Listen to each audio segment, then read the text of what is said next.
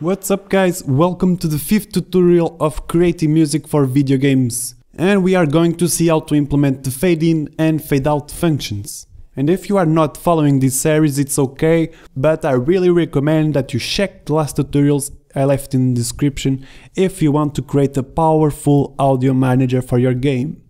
Last tutorials we created core functions of our audio manager like play one sound and play randomly from a list. But now we are missing the fade in and the fade out functions. And to create fades, I use coroutines. And as a static IEnumerator fade in, copy and paste this to the fade out, and in the fade in is going to receive the number of the track that we want to fade in, the speed at which we want to fade in, and the maximum volume. And before we proceed, we need to declare two booleans. One called keep fading in and the other one keep fading out. And this will allow us to interrupt a fade in if we want to fade out at the same time and vice versa. Otherwise it would be a mess, believe me. So now in the fade in coroutine we say keep fading is true and keep fading out is false.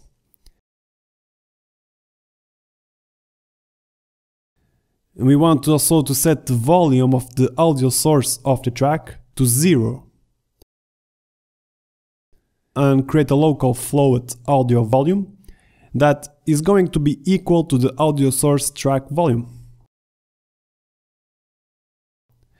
And now, while audio source volume is less than the max volume, and we want to keep fading in, we add to the audio volume the speed and the audio source volume now is going to be equal to the audio volume.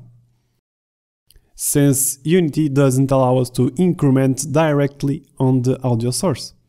And now we say yield return new wait for seconds 0.1. And that's it for the fade in. For the fade out is pretty much the same, but we don't need a max volume and we can copy the rest and the keep fading in is false now and the keep fading out is true obviously and we don't want to set the track volume to zero and we create the audio volume float. And we say that while the track audio source volume is bigger or equal to the speed and we want to make sure that the keep fading out is true now we remove from the audio volume the speed that we are going to send and pass the audio volume to the audio source Okay, so now if you go to the FPS sound script and try to access the fade in or the fade out, we just can't. And that's because this is static, so we need a function that can access the iEnumerator from the inside. And for that, I use something that I like to name callers. So it's going to be fade in caller, which has the same parameters as the fade in. But if I try to call the start coroutine, I just can't again. And that's because I need to create an instance of this script. So it's going to be public static sound manager script instance. And in the awake function, we say that the instance equals this script. And now with the instance we can access the start coroutine, open brackets and say fade in and pass the variables. Do the same thing for the fade out caller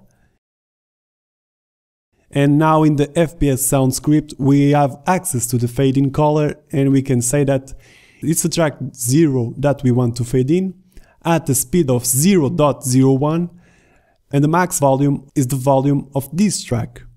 So we can access the track list in the Sound Manager script and we can pass the track and do it like this.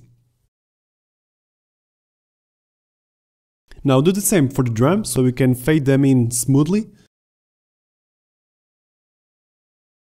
And now we want to add our Sound Manager script to this Sound Manager object we created in the beginning. And if you press play, you can already hear the fade in.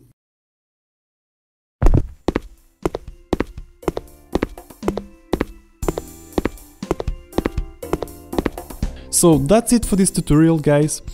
As you can see this script is quite powerful in my opinion and in the next tutorial we see how to loop and most importantly we see how to change the music if there is an enemy nearby. So thanks for watching guys, I really appreciate the support and subscribe for weekly game development tutorials. See you in the next tutorial.